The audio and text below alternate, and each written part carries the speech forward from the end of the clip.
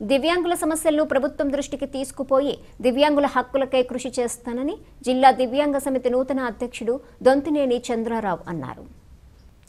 రాజన్న సిరిసిల్ల జిల్లా దివ్యాంగ సమితి నూతన కమిటీ అన్ని మండలాల దివ్యాంగుల సమక్షంలో నలభై మంది దివ్యాంగులతో జిల్లా బాడీని ఎన్నుకున్నారు. నా మీద నమ్మకంతో నన్నే రెండవసారి అధ్యక్షుడిగా దొంతినేని చంద్రరావు అను నన్ను ఏకగ్రీవంగా ఎన్నుకున్నందుకు ధన్యవాదాలు తెలిపారు.